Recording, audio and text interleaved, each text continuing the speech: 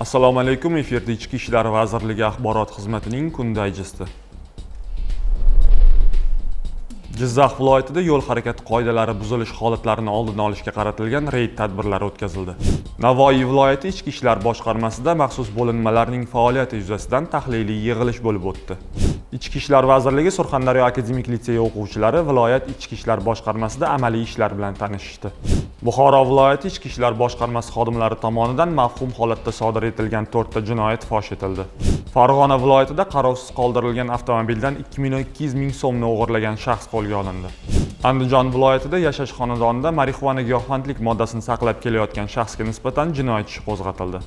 Namangan viloyatida davlat yerini fuqaroga rasmiylashtirib berishni va'da qilib evaziga 3000 ming aqsh dollari talab qilgan shaxs qo'lga olindi. Ushbu xabarlarning to'liq tafsiloti va boshqa yangiliklar bilan ichki ishlar vazirligining telegram ijtimoiy tarmog'idagi rasmiy sahifasi orqali yaqindan tanishishingiz mumkin. Salomat bo'ling.